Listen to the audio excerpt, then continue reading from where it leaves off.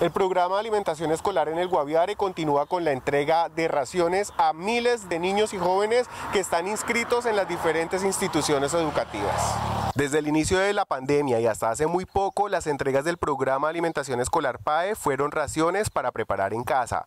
Pero actualmente este operador espera las indicaciones de la Secretaría de Educación del Guaviare para ajustarse a las nuevas directrices del orden nacional.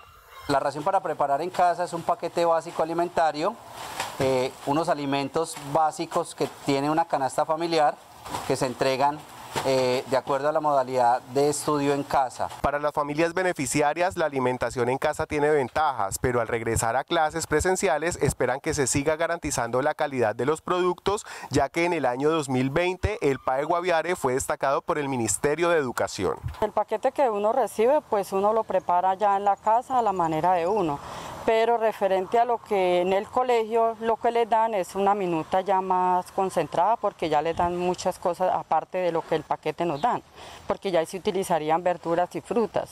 Actualmente hay un promedio de 8.800 beneficiarios que están eh, distribuidos en los cuatro municipios del departamento del Guaviare, tanto en la parte urbana como en la parte rural. Para garantizar el bienestar de los colaboradores y beneficiarios del PAE, este programa ha tenido que extremar los protocolos de bioseguridad en el marco de la pandemia COVID-19.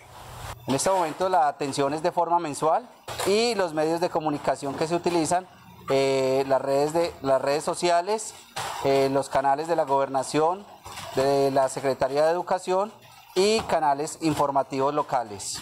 Los beneficiarios PAE deben estar debidamente matriculados en el sistema integral de matrícula CIMAC y de esta forma los estudiantes son focalizados de acuerdo a los criterios establecidos por el nivel nacional.